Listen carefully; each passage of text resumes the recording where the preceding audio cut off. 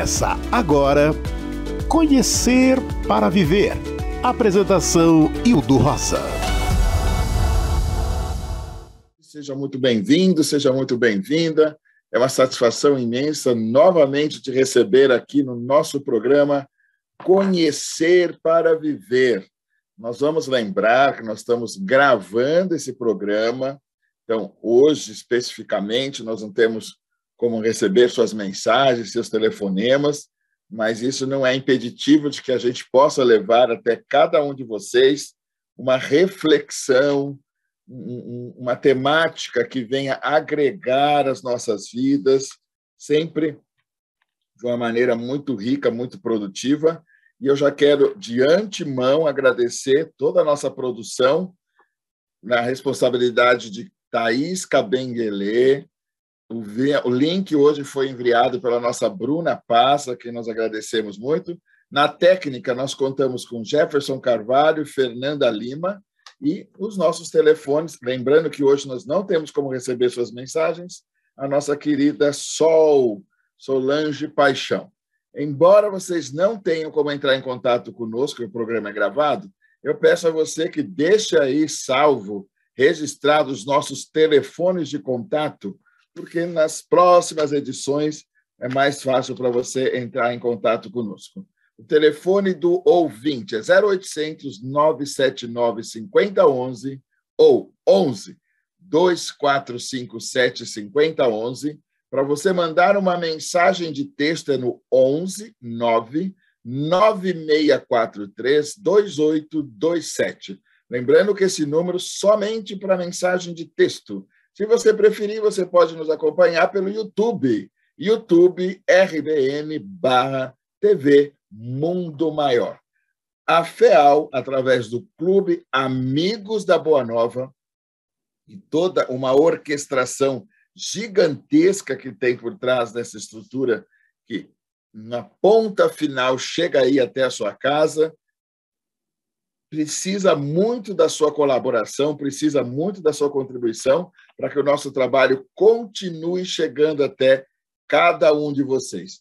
Assim sendo, eu pediria que você colaborasse conosco através do 0800 120 18 38 ou 11 2458 3214 ou então você pode nos enviar um Pix para a sua melhor comodidade. O nosso Pix é 11 9 7261 0272. De novo, 11 9 7261 0272. Se você preferir também, você pode nos acessar pelo site feal.colabore.org. Sem a sua colaboração, sem a sua contribuição, não há a menor possibilidade de nós mantermos toda essa estrutura e, consequentemente, fazermos chegar a você não só o nosso programa Conhecer para Viver, mas também toda a grade da Rede Boa Nova de Rádio e TV Mundo Maior. Nós somos um time de amigos, de colegas que estamos aqui diariamente, quase que dioturnamente, produzindo conteúdo para lhe fazer companhia, para estarmos juntos ao longo de todo o ano. Nós já estamos aqui novamente encerrando um novo ano de 2021, às portas das festividades do Natal. E o nosso tema de hoje é exatamente referente ao Natal. Natal de amor e responsabilidade. Qual é a ideia quando nós propusemos aqui esse tema? A nossa discussão era: gente, é natural que nós estejamos eventualmente experimentando uma certa angústia, né? Nós estamos um pouco cansados, nós estamos bastante desgastados, impossibilitados de circularmos mais livremente. Já flexibilizou-se bastante, porque nós estamos com o processo de vacinação avançado, falta muito ainda, mas já avançamos. E graças a Deus, como povo brasileiro, nós não temos uma cultura negacionista. Então, graças a Deus, nós estamos procurando os postos de vacinação, nos imunizando, primeira dose, segunda dose, para muitos já a terceira dose, que é bem o meu caso. E aí a gente já está começando a experimentar uma liberdade maior, no, no, que diz respeito ao ir e vir, né? a nos re, voltarmos a nos reunir. E nós somos também um, uma pátria bastante afetiva, bastante afetuosa. E uma ocasião como essa do Natal é uma super oportunidade para voltarmos a nos reunir. Lembrando que para muitas, para centenas de milhares de famílias brasileiras, nós estamos atravessando processos de luto. Muitos de nós perdemos por conta da pandemia, por conta da Covid-19, nossos entes queridos, familiares, amigos. Então, muitas, mas muitas famílias mesmo passarão as festividades do Natal enlutadas, o que é mais o motivo que nos uh, uh, impulsiona a buscarmos né, por esse aconchego de família. Façamos isso mas reitero a cada um de vocês: desejamos, e vai passar, se Deus quiser, mas nós temos que acompanhar, é, fundamentados na ciência, e os nossos órgãos de saúde responsáveis pelo nosso bem-estar a nível estadual, é, é, federal, enfim, Anvisa e tudo, estão nos alertando que a pandemia não acabou. Né? Volta e meia a gente está acompanhando um noticiário, um comentário no jornal, enfim, e a gente está começando a, a, a, sinalizar que a, pandemia acabou. É o pós-pandemia, como foi o. Não, gente, ainda não acabou.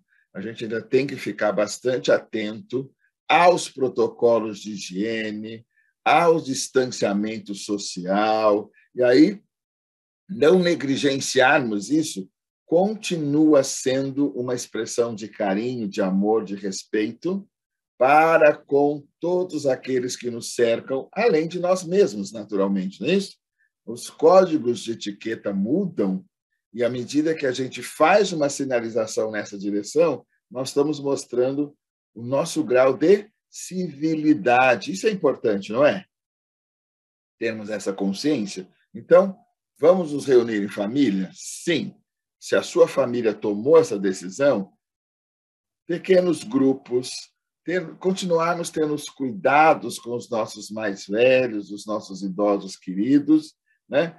organizarmos, então, como esse encontro vai se dar, tiramos nossas máscaras, fazemos nossa refeição, na hora de retomarmos aquela conversação efusiva, né? aquela conversação animada, então, retomamos o uso da máscara, e aí nós vamos conseguir ter esse aconchego de volta, ter esse abraço importantíssimo, em especial as famílias enlutadas, a quem nós já procuramos denunciar aqui o nosso mais profundo respeito, nosso mais profundo carinho, né? procurando, de alguma maneira muito carinhosa, aliviar um pouquinho essa dor. É um processo de luto, sim, nós não temos por que é, negar isso, mas o, o impulso da vida nos desafia a continuarmos seguindo determinados, com fé, confiantes, que é, é, é, toda e qualquer dor pode ser superada, não necessariamente esquecida, né? não é esquecermos nossos entes queridos, não é sequer deixar de amar os nossos entes queridos, não, mas é nos distanciarmos desse processo inicial de uma dor intensa, né? dor essa que é sinalizadora do quão especiais todas essas pessoas sempre foram em nossas vidas, continuarão sendo, mas é termos força, encontrarmos força dentro de nós para abraçarmos esse sopro de vida que nos habita e cada um de nós honrarmos o nosso compromisso até a hora do nosso desencarne, que é uma realidade, uma verdade que a Deus pertence, não é isso? Tá? Então, estejamos atentos nesse sentido, estejamos atentos nesse particular e irmanados, abraçados, eu não tenho a menor dúvida que essa travessia se faz mais fecunda, né? mais próspera. Eu não tenho nenhuma dúvida disso. Então, façamos isso, mas lembrando de novo, procurando respeitar ao máximo os novos protocolos, as novas etiquetas sociais, que é um facilitador no cuidado com a nossa saúde. Muito bem.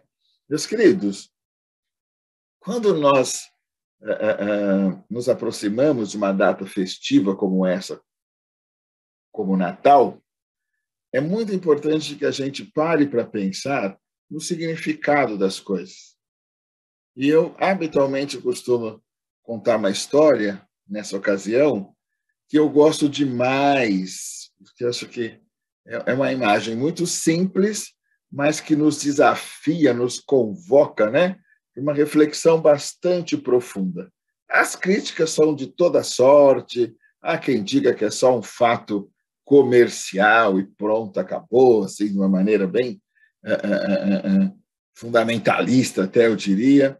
Mas a gente, se ficar um pouquinho atento, a gente percebe que até vibratoriamente alguma coisa começa a mudar quando nós nos aproximamos dessa data. Nós costumamos expressar um sorriso mais largo, nós costumamos denunciar uma afetividade àqueles que não são mais próximos. Vamos dar muito soquinho nas mãos, né? Em sinal de um cumprimento ao vizinho, enfim, porque a gente está com saudade. O, o ser humano, o, o nosso cérebro, ele foi programado para o encontro, para o viver, para o conviver. E esse período de maiores restrições que nós estamos passando só nos faz tomarmos consciência e valorizarmos ainda mais todos os próximos que nos cercam.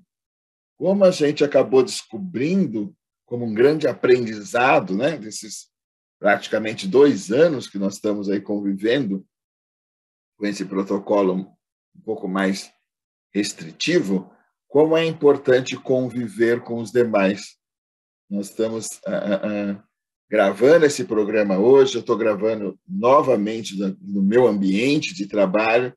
Faz muito tempo que eu não encontro os meninos e as meninas é, é, da nossa estrutura lá da FEAL, onde nós temos lá o nosso estúdio, temos os nossos amigos, irmãos da técnica, enfim, muitas pessoas queridas que nós nos encontramos e sempre tem um programa antes de nós efetivamente fazermos o programa que chega formatado até você, tem um programa depois que termina o programa e nós ficamos ali rolando pelos corredores, né? Conversando, brincando, subimos até a produção para entabular alguma outra atividade, enfim, fazer uma gravação que nos é solicitada. É um ambiente muito gostoso, muito rico, do qual nós estamos privados. Esse é um aspecto. Entretanto, ao longo dessa jornada, depois que eu, estreiei né, o Conhecer para Viver, exatamente esse ano, e tantos convidados foram recebidos, aproveito a oportunidade aqui para agradecer a disponibilidade de cada um, interações que nós tivemos oportunidade de fazer com amigos e irmãos que estavam fora do Brasil, né? amigos e irmãos nos Estados Unidos, mensagens nos chegando de todo canto do mundo, então, sem a, a, a, essa situação, provavelmente nós não estaríamos tendo também essas oportunidades. Então, quão importante é, diante de qualquer circunstância que a vida nos apresente, nós mantermos olhos de luz. Uma observação tão simplória, eu diria, que está ali colocada no nosso evangelho, né? Quem tiver olhos de luz, que veja. Entretanto, uma outra advertência também se soma a essa. Mas caso você traga em si olhos de trevas, quão grandes serão as trevas, não é isso? Não é importante que a gente tenha, uh, uh, uh, nesse estudo do Evangelho, nesse debruçar sobre o Evangelho para uma proposta de aprendizado, essa consciência, são tantas as considerações que estão colocadas ali, e muitas vezes nós passamos por elas e não conseguimos agregar significado, não conseguimos uh, uh, imaginar o alcance que tem naquela informação ali e trazermos para as nossas vidas, olha quão importante, trazermos para as nossas vidas para justamente desse aprendizado ou nesses aprendizados encontrarmos força para sustentarmos a nossa fé. Tá? Então, em especial você aí que está administrando uma situação de perda, que vontade a minha de colocar no seu coração essa observação, de colocar no seu coração, parece um pouco forte o que eu vou dizer, esta verdade, né? Vá beber nos ensinamentos da nossa doutrina, vá beber nos ensinamentos do nosso evangelho, para que você encontre dentro de si mesmo as forças necessárias para a superação que se faz necessária. Isto é muito importante, meus queridos. Muitas vezes nós ficamos nos perguntando como que nós vamos conseguir fazer uma travessia tão desafiadora. Mas não tenham dúvidas que sozinhos é muito mais difícil. Então, que a gente possa fazer isso junto, irmanados aos nossos irmãos da terra e também aos nossos irmãos da espiritualidade, ou desencarnados, mentores, como queiramos, não é isso? Muito que bem. Então, eu dizia para vocês, vinha construindo aqui um raciocínio, né? Que nessa, nessa oportunidade, via de regra, eu procuro trazer uma história que eu acho que ilustra bastante o significado desse momento, fazendo um, um contraponto a essa observação aí de que é apenas uma data comercialmente estabelecida, de onde se usurpa tudo que é de material, e a bebedeira, e a comilança. Ok, a gente respeita quem tem essa visão, quem tem esse posicionamento, mas eu, vocês me conhecem já de longa data, já costumo ter uma visão mais romanceada, né? Isso é muito minha cara mesmo. E essa história diz o seguinte: havia um determinado lugarejo, uma região onde algumas poucas pessoas habitavam, que também tradicionalmente, habitualmente se comemorava ali o Natal. Né?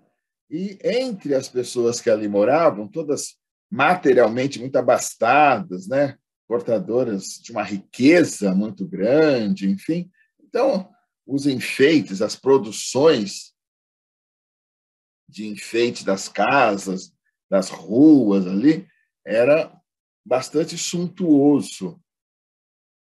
E nessa mesma região habitava uma família de poucas posses, né? que não podia igualar nessa, nessa mesma condição o, a ornamentação da sua residência. E havia um concurso nessa região para que se pudesse eleger qual era a casa, qual era o enfeite, qual era a produção natalina ali, em termos de decoração, mais eh, sofisticada, mais bonita. E lá pelas tantas, cada qual começa a sua produção, e o pai, o responsável por essa família, sai, vai em direção à mata próxima, começa a cavar cavar, cavar, e normalmente as pessoas iam ali, serravam os mais altos pinheiros, os mais robustos pinheiros, e levavam para suas casas e faziam ali a decoração da sua árvore. Não muito diferente do que habitualmente nós fazemos ainda hoje. Né? Nós vamos a alguma loja, compramos lá o pinheiro, algumas pessoas preferem a, a, o natural, e enfeitamos, enfim. Nessa, nesse lugar não era muito diferente. Esse senhor faz um movimento diferente, porque ele elege lá o seu pinheiro, a sua árvore, e ele vai cavando, cavando no entorno desse tronco, não muito próximo. Ele cava uma, uma distância maior, né? E arranca esta árvore, leva até a sua casa e coloca à frente da sua casa esse pinheiro, tal qual foi retirado da floresta, né? Sem absolutamente nenhum único enfeite, nenhuma bolinha de Natal. Na minha família, habitualmente, nós colocávamos algodão né, na árvore para imitar a neve. Engraçado, né? A força da cultura. A gente, num país tropical, mas simbolizando ali as neves, nós colocávamos algodão na árvore. E ele simplesmente vira essa árvore de ponta cabeça, qual seja, com as raízes para cima, e esse era o enfeite que ele entrega para toda a sua comunidade ali. Claro que essa atitude mobilizou um certo burburinho no entorno, um, um, um diz que me disse, um tititi, uma muvuca, porque imagina, diante de produções tão sofisticadas, o que era aquilo? Né? É como se aquele senhor ou toda a sua família passasse a sofrer uma espécie de bullying, que é a linguagem que nós usamos hoje. Né? Eles ficaram bastante expostos ali na sua região, no local deles. Muito bem. O concurso foi realizado e pasmem todos vocês. Ah, o enfeite, ou a família ganhadora, foi exatamente a desse senhor. Foi exatamente desse senhor. O que atraiu para a frente da sua casa todas as mídias, né? Para entender, para fazer ali uma, uma entrevista. O que, qual foi a justificativa que ele teria levado o comitê avaliador a dar o prêmio para aquela família. Então, estavam ali os repórteres reunidos e, é sabe assim, os Damião, os Alexandre Anselmo, nossos repórteres de plantão, né? Estavam ali para entender qual era o motivo dessa premiação. E esse senhor, é, ao ser interpelado, simplesmente respondeu que a mensagem que ele passava era que as verdadeiras raízes do Natal estão no céu. Era essa sinalização, era este o símbolo que ele propôs para toda a sua comunidade.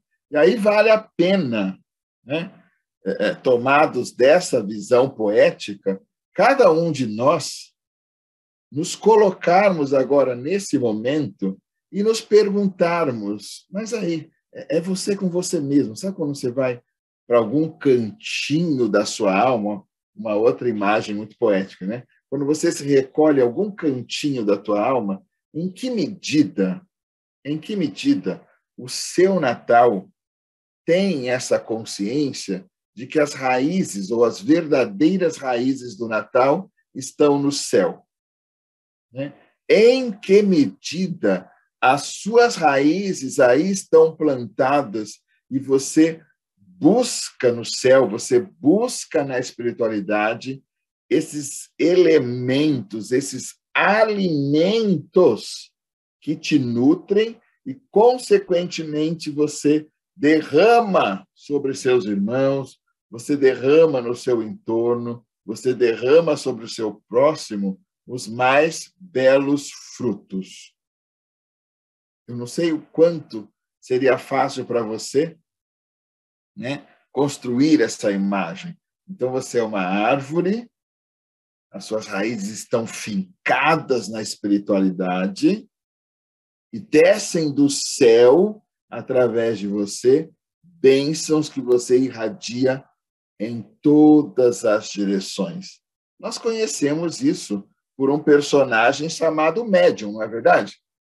Nós conhecemos esse personagem por médium. O médium é aquele que bebe na mais alta espiritualidade e derrama sobre os irmãos em humanidade, os irmãos que estão tanto quanto esse médium empenhados no seu processo de evolução, os mais belos conhecimentos, as mais belas palavras, os mais nobres gestos, numa sinalização do que verdadeiramente vem a ser a vontade de Deus, nosso Pai. Olha que bacana. A vontade de Deus, nosso Pai. Quais são os propósitos de Deus para com cada um de nós? Né? Então, estou trazendo aqui para nós todos, tá bom? Esse desafio. Se você fizer esse movimento, o que, que você imagina obter como resposta? Até onde você se percebe sendo esta pessoa aí no meio em que você está? no seio da sua família, junto ao seu ambiente de trabalho, seja, literalmente em todas as direções. Qual é a qualidade do seu pensamento? Quais são, qual é a qualidade dos seus gestos? Né? Porque o pensamento é um motor que vai produzir comportamentos, não é assim? Daquilo que nós alimentamos o nosso pensar, consequentemente vai se refletir na nossa conduta. Quantas vezes nós justificamos para nós mesmos? Ah, eu estou aqui alimentando uma pequena mágoa, um pequeno ressentimento, um desejo de não sei o quê, não sei para quem. Não, mas eu estou só pensando. Mas você não tenha dúvida, é uma questão de tempo para que você esteja realizando no seu plano esse, esses elementos que o seu pensar está ali fomentando, está ali sustentando. Então, mantermos os nossos pensamentos, né? buscarmos uma leitura edificante, é, é, é, buscarmos acompanhar ó, a programação da Rede Boa Nova, da TV Mundo Maior, para quê? Para que essas nossas raízes possam estar devidamente sustentadas. Né?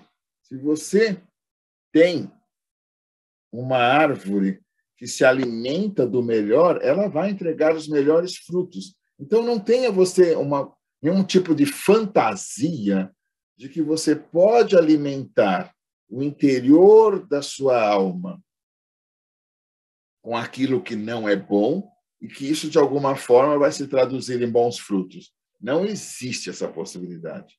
Não existe essa possibilidade. Tá bom? Então, se você está aí guardando alguns sentimentos que nutrem essa frequência, por favor, procure distanciar-se disso. Vai trocando de alimento, tá? aos pouquinhos, mas sempre.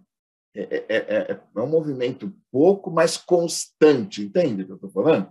É importante que a gente possa se comprometer a esse ponto, que a gente possa se comprometer neste nível. O, o, pense alguém aí escalando uma montanha. Né? Primeira observação importante: você tenha fixado né, a sua corda lá no ponto mais alto da montanha, mas fixado muito bem. Né? Aí, a partir do momento que você se certifica de que essa corda está bem fixada, aí nós começamos esse movimento da escalada, não é? Ritmo e constância. Ritmo e constância. Não é assim que nós vamos galgar o cume dessa montanha? Espiritualmente falando, essa metáfora também guarda em si uma beleza muito grande. Né? Traz em si uma beleza muito grande. Então, dioturnamente, nós vamos, deixamos a nossa corda fixa na espiritualidade superior, presa, bem presa a Deus, e nós vamos daqui, nesses pássaros, ritmados e constantes, ritmados e constantes, com esse fio que vai nos conduzindo, né? Sabe aquele fio que ajudou Perseu a sair do labirinto? Ele foi lá, matou o Minotauro e Ariadne, que teceu esse fio, emprestou para ele, né? Cedeu a ele para que ele pudesse cumprir a sua prova. Estou brincando aqui um pouquinho agora com a mitologia. Então, como é que ele conseguiu vencer essa prova? Ariadne desceu um fio, entregou para ele, ele marcou o caminho dentro do labirinto que ele percorreu, matou o Minotauro, depois ele volta, guiado por esse fio, e sai do labirinto. A princípio, ninguém sairia vivo desse labirinto. Se não morto pelo Minotauro, no mínimo se perderia tá? E ele conseguiu, porque o fio, então, que nós possamos ter na nossa vinda, no nosso processo reencarnatório, nessa distância entre o céu e a terra, né? Para algumas pessoas existe essa ideia de distância, mas que nós te, estejamos sendo guiados por esse fio da espiritualidade. E aí vocês me perguntariam assim: e como eu vou saber? Gente, Todos nós sabemos. Toda vez que nós temos uma atitude, toda vez que nós temos um pensar, toda vez que nós temos um agir que contraria os propósitos divinos, tenha você certeza disso. Os nossos corações experimenta uma tristeza profunda. Os nossos corações entristecem, eles se fecham, né? Ao passo que, ao agirmos de uma maneira mais coerente com os propósitos divinos em relação a cada um de nós, algo em nós, algo dentro de nós ganha uma dimensão solar. Né? Algo dentro de nós irradia calor e algo dentro de nós irradia luz. Né? Calor e luz aqui como símbolos da vida. Um corpo aquecido é um corpo vivo. E um corpo luminoso, nós não costumamos, na nossa cultura, associarmos isso à espiritualidade superior. Luz, nós associamos à espiritualidade superior, não é assim? Simbolicamente, o que, que representa para os nossos irmãos católicos o acender uma vela? Por que, que nessa ocasião do Natal nós costumamos trabalhar bastante, intensamente, simbolicamente, a imagem do brilho? Né? Nós gostamos de papéis de presente que brilham, nós colocamos brilho enfeitando as nossas casas, nossas árvores, alguns na própria roupa, não é isso? Nós brincamos né, com as makes das unhas, do rosto, enfim, muito numa, numa conversa com o brilho, mas fazendo uma menção à espiritualidade superior. Então, para os nossos irmãos católicos, e aí todo o nosso carinho devidamente marcado aqui, não só os nossos irmãos católicos, como os nossos irmãos ubandistas, budistas, eh, eh, eh, evangélicos, protestantes, não importa, porque todos nós estamos buscando por Deus, não é isso? Então, é, essa confraternização é que é importante. Nós podemos desenhar caminhos distintos, caminhos esses que nós devemos aprender a respeitar, mas termos o entendimento de que o objetivo final é um só.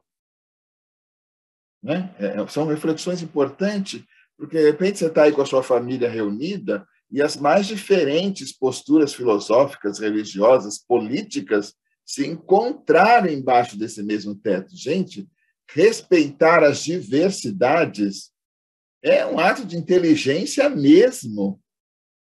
Né? É importante isso.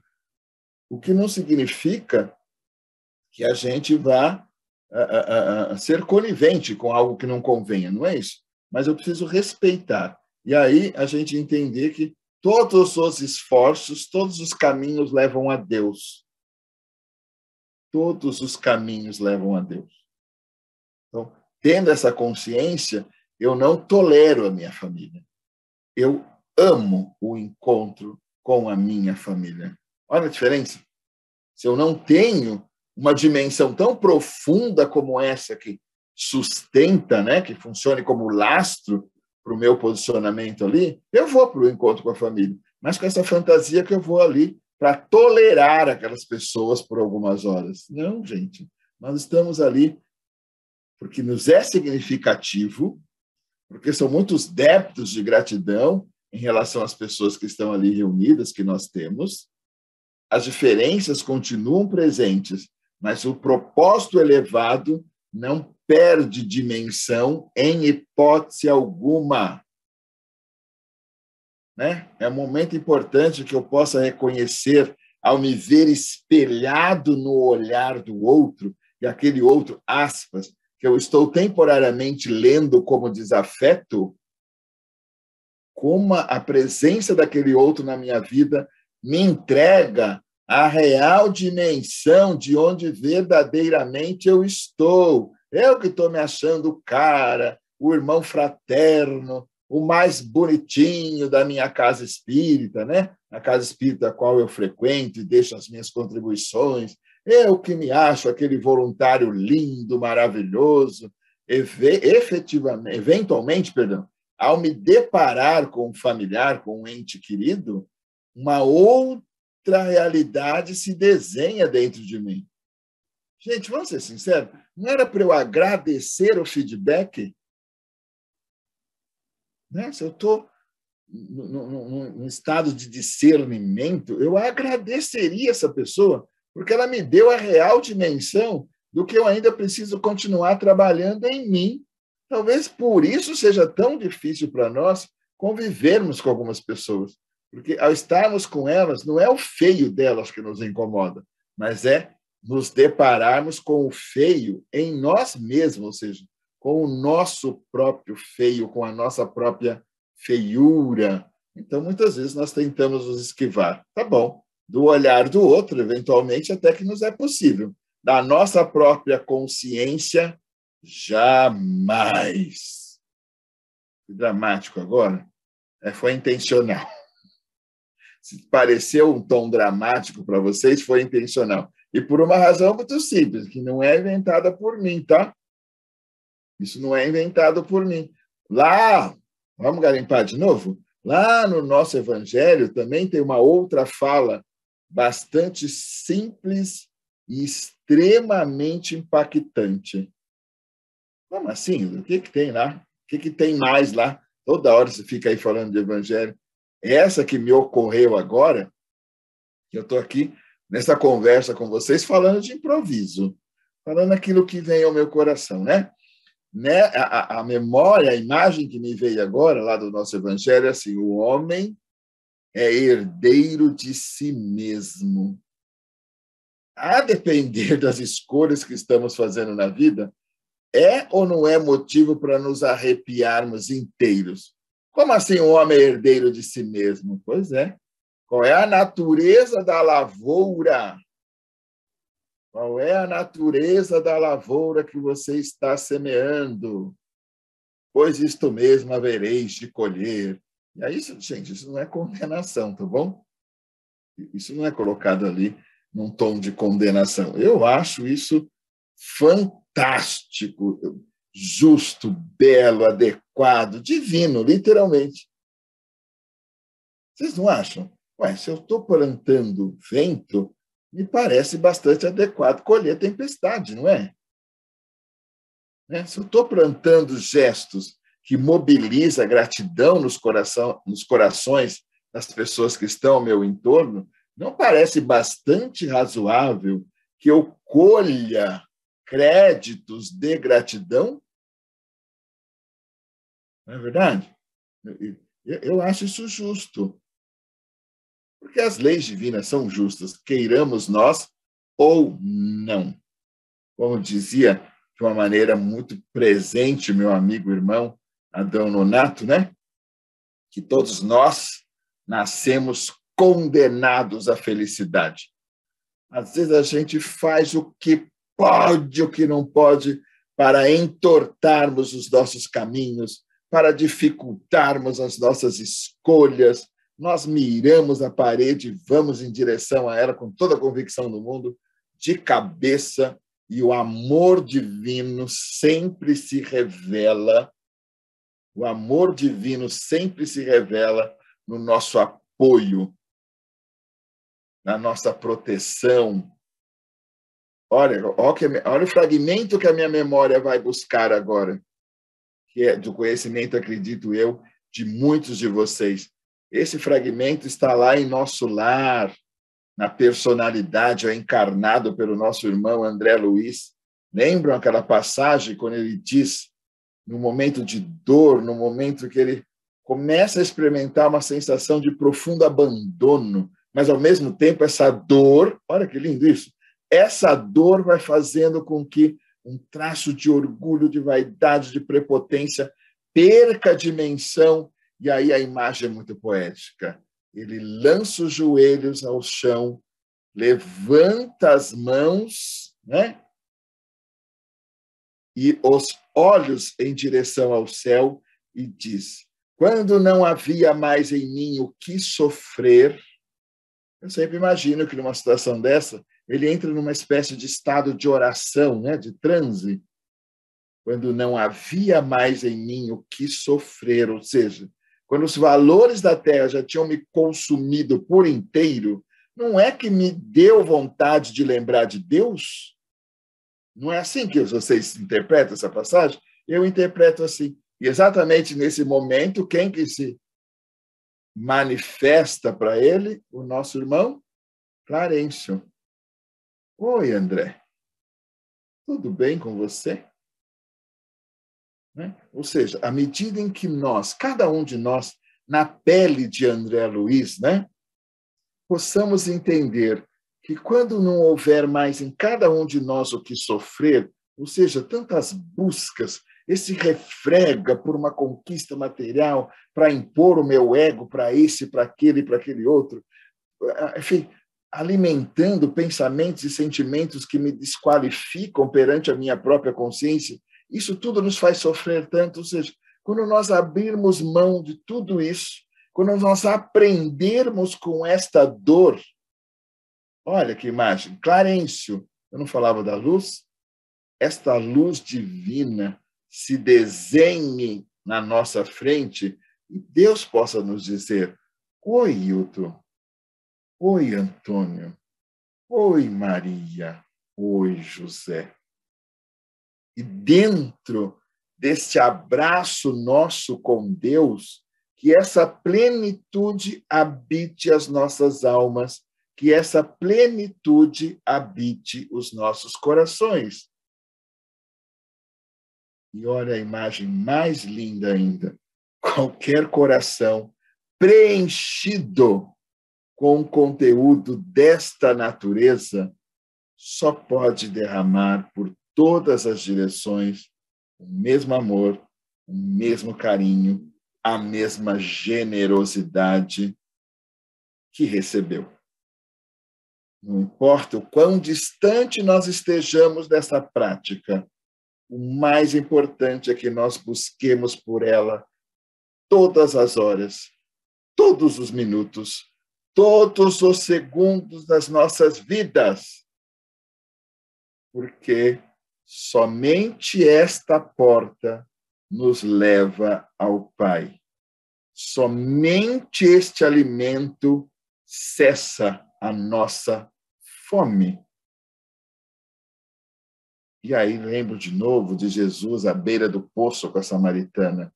Muito obrigado, minha irmã. Mas se for da sua vontade, olha o respeito, posso lhe apresentar uma água que uma vez tomada, nunca mais você vai experimentar sede. Quem é que experimenta sede? A matéria. E é natural que seja assim. Mas o espírito que vai e conhece esta água divina que nós poderíamos chamar por Deus, nunca, nunca mais experimenta sede. Meus queridos, um feliz Natal a cada um de vocês, um feliz Natal para todas as famílias reunidas totalmente, parcialmente, se falando pelos mecanismos como esse que me faz chegar a minha imagem até vocês. Eu felicito a todos, agradeço por esse ano que passamos juntos e na próxima oportunidade, na próxima sexta-feira, nós estaremos juntos para mais uma edição do meu, do seu, do nosso programa Conhecer para Viver. Porque todos morrem, mas nem todos vivem. Um beijo a todos e até lá.